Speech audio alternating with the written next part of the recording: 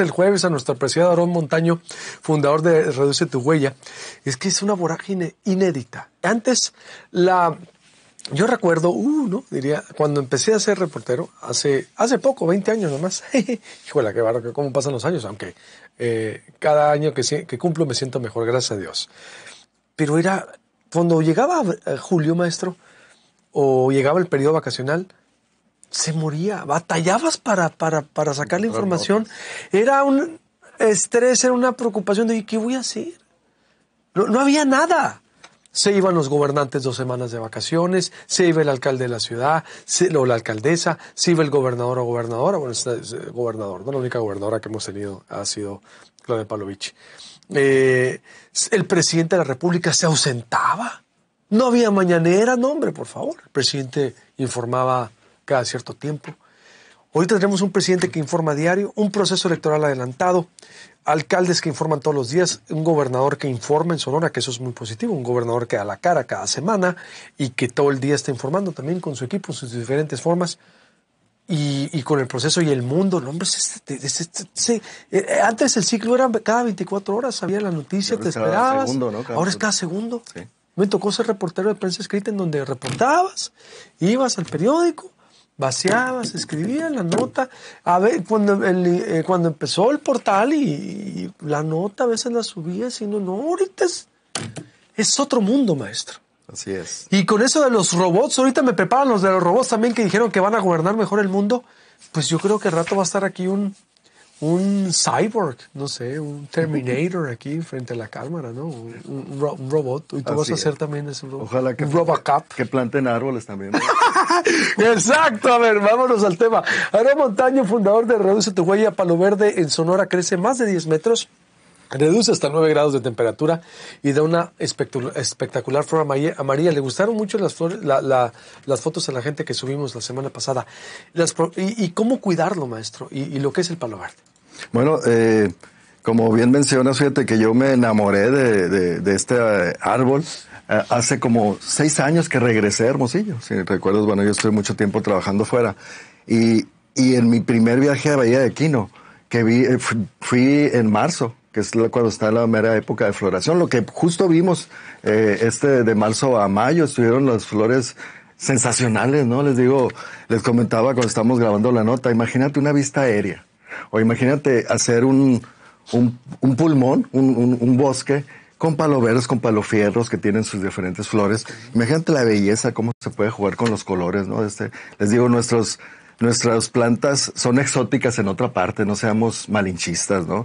Y este, los tenemos, los tenemos que, son admirados, así como dices, ahora, así como mencionabas lo que es, eh, cómo se genera información, cómo ven las fotos en otras partes del mundo y dicen, oye, es que belleza, ¿no? Les, les comentaba, yo los comparo con los, cerezos japoneses, o sea, que son una maravilla en Washington, por ejemplo.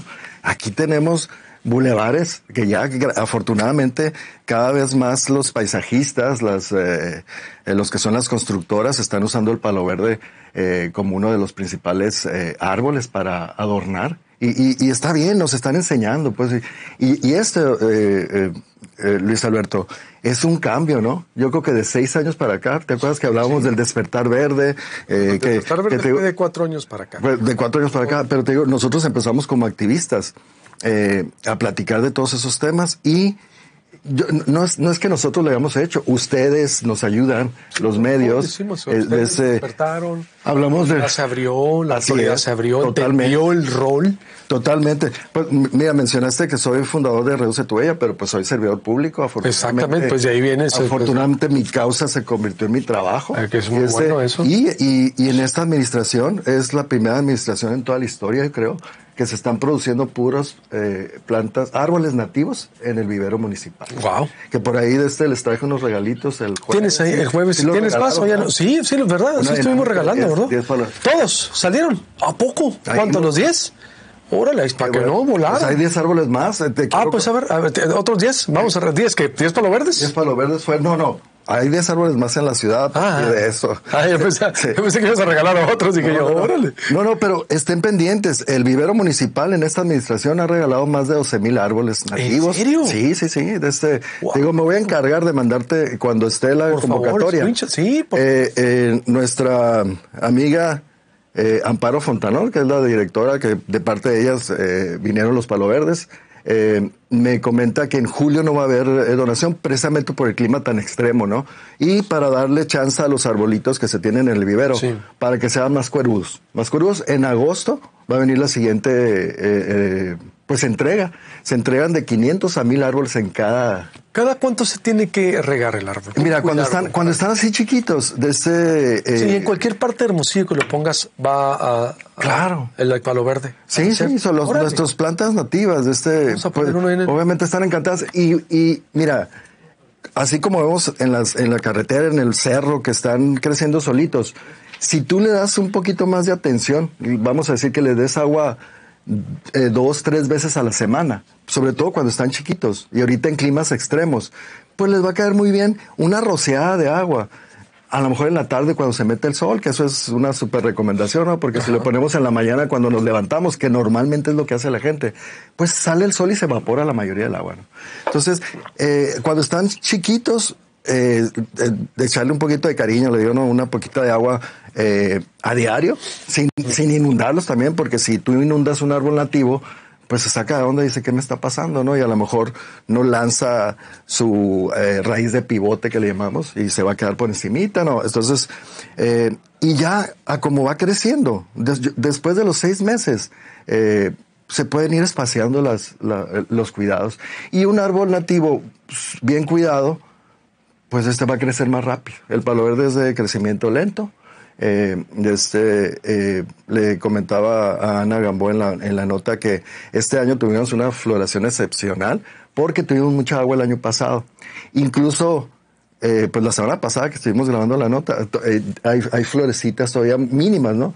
Pero es, es porque el árbol está muy contento, pues porque es, fue, fue, un buen, fue un buen año y se espera que por ahí por un octubre también se venga otra floración más leve, no tan intensa como la de marzo-abril, ¿no? Te digo, entonces te digo, son súper nobles nuestros árboles, ¿eh? Este, yo creo que tenemos que identificar como una necesidad de tener más cobertura eh, No, pues vegetal. claro que sí. Y- pero pero te digo, estás aquí. A ver, ¿con qué nos quedamos para cerrar? ¿Alguna eh, pues, mira, bueno, te traigo la paleta vegetal. Yo sé, ustedes, eh, digo, no porque esté aquí, pero la promoción que le hacen a los temas medioambientales.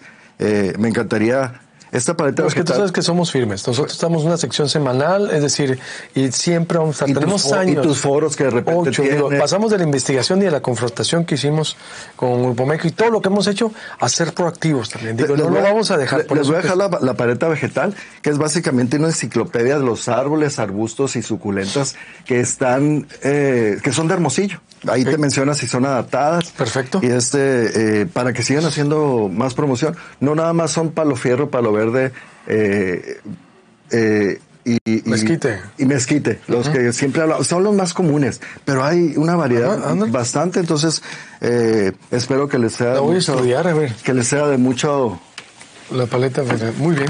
Pues, Aarón, te agradezco mucho. Algo más para cerrar. A ver. Eh, pues que nos pongamos las pilas y pasemos de ser, de dar el like en, en redes y busquemos eh, árboles y plantas y no- busquemos un espacio cerca de nuestra casa donde podamos eh, cuidarlo para verlo. Es bien bonito hablar en un- unos cinco años, decir, ahora sí que nosotros lo plantamos, ¿no? Y cómo estamos mejorando eh, eh, desde el clima de Hermosillo, el aire más limpio, o sea, es Totalmente. puro positivo para nosotros y las nuevas generaciones. Sigamos hablando, ya sabes, por favor, aquí tienes a tus aliados en todas las ideas, lo que tengamos que hacer. Eh, ahí está nuestro granito de arena también, Muchas en gracias. una vorágine informativa que estamos eh, viviendo. Y sí me despido con eso.